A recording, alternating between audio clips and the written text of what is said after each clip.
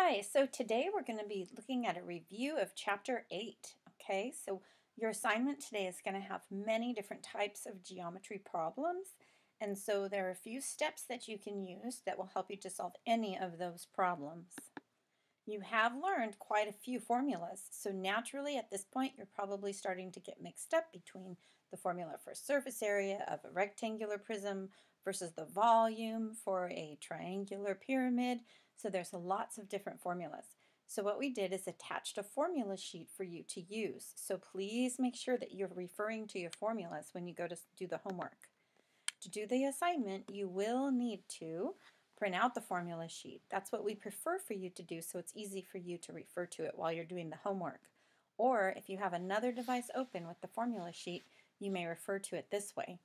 Okay, otherwise you could take out your textbook and look up the formulas in there as well.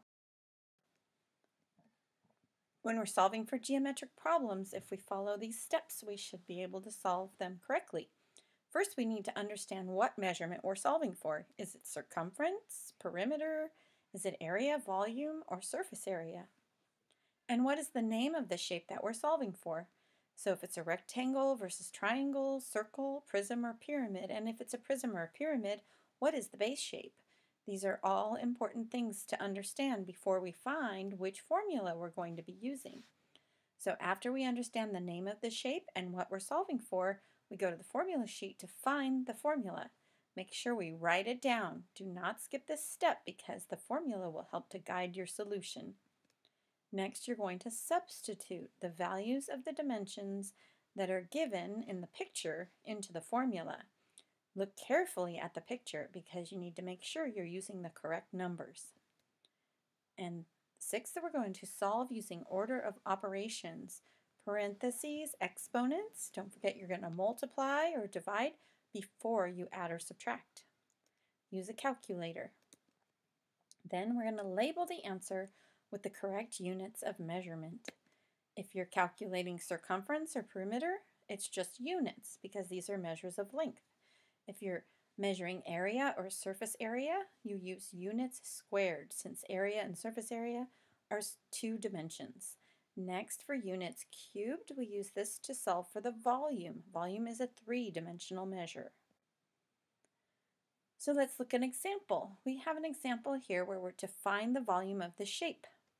First we ask what is the measurement that we're solving for?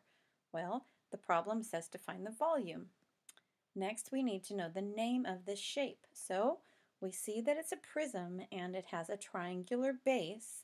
It's a prism because it has two bases and rectangular faces. So we have a triangular prism and we're looking for volume. Next, look at your formula sheet. See if you can find the formulas for volume and now find the formula for triangular prism for volume. And you should find on your paper that the volume of a triangular prism is found with length times width times height divided by 2. So now that we have our formula, we can substitute the values into the formula and solve. 12 times 9 times 18 divided by 2. You multiply the top and then divide by 2. On this problem, notice if you're confused by which is length, width, or height, it won't matter because of the commutative property of multiplication. As long as those three numbers are multiplied together, you will get the correct answer. Just be sure you divide them by 2 for a triangular prism. Then we label our answer with the correct unit of measure. Volume is 3 dimensions, so it's 972 centimeters cubed. This next problem says to find the surface area. So first, we see that the measurement we're solving for is surface area. We look at the shape and see it's a pyramid with a square base. So we go to our formula sheet and find surface area, square-based pyramid. When we write down the formula, we see we get area of base plus 1 half times perimeter of the base times the slant height, and that's also on your formula sheet. Substitute the values, so we say the area of the base is 4 times 4, plus 1 half times the perimeter of the base. Perimeter is also 16 because it's 4 plus 4 plus 4 plus 4. And the slant height is 5. So we solve the multiplication first. On the right side of the equation, if we solve for 1 half times 16 times 5, we get 40. Now we add 40 to 16, which is the area of the base, and our answer is 56. So we label it with meters squared since we're talking about area. One more quick example. We see we're solving for volume. We have a cone. We find the volume of a cone, the formula pi r squared h divided by 3. Substitute the values and solve. Then label the measurements. So when we go through that problem quickly, you see that it becomes easier and easier the more that we solve these problems. Just be sure that you know what you're solving for before you approach the problems and always write down the formula first.